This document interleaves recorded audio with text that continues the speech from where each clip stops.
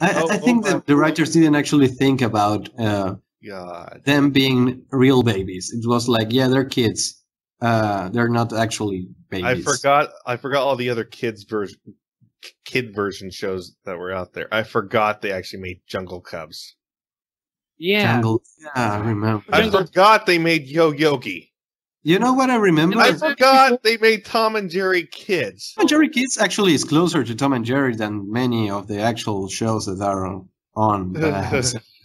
Tom and Jerry Which is scary is a and blight on mankind.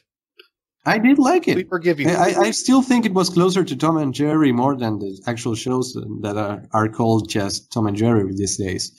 Uh, but what I was, uh, have you do you remember the Family Guy episode with the Family Guy kids, basically? they weren't even doing the kids version; they were ripping off our gang. See, the thing is, people call them Little Oh. Rascals, but the real name of that show was Our Gang, Yeah. and that's not that's not one of those. Oh, that's one of these little hidden facts. People, everybody knows that or should know that. Interesting. The, the name here was Pequeños Traviesos. Uh, yeah. Yeah, So- our our gang. Yeah. So, so, so, so I remember that because when they made the Little Rascals movie, I was asking my dad, "Hey, did you ever see the Little Rascals?" My dad looks at me and says, "Ben, they're called our gang."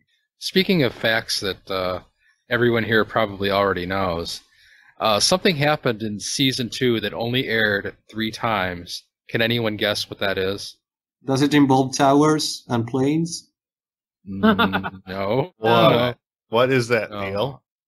The Little Muppet Monsters. This uh, second half of the show only aired three times. Jim Henson pulled the plug on it because apparently he felt that the that the puppetry and the animation did not make for a good comparison because he thought the animation was inferior to the puppeting, so he just yanked it. He didn't want But- to put make people compare it because he didn't want people to start saying, "Oh, Muppet Babies is shit. We should have more of this." But there were actual cartoons in that show as well. It would, they had adult versions of the Muppets in cartoon form. Oh God, I I think Yeah. I actually saw some of those. Yeah. And 13 episodes were produced. They're all sitting in a vault somewhere or probably got bulk erased or something. I think they're still staying involved because I don't think the Jim Henson Studio is quite like Lucas, where if they don't like it, they disavow it, delete it, Ah. remove it, take take it away from manufacturing. Blanchard. But but anyway, I Let I, go, Ben. Let it go. I really wish Disney would come out with this on DVD because it's really the the last thing that that we really have of uh, Jim Henson and Richard Hunt before they died.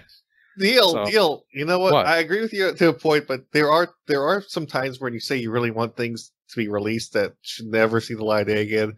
Like you want the you want the Saban clean cut of the Sailor Moon animation. I just want they need to put that on one of the on one of the Sailor Moon DVDs. I just want a clean copy of that just to laugh at it because you know it's funny.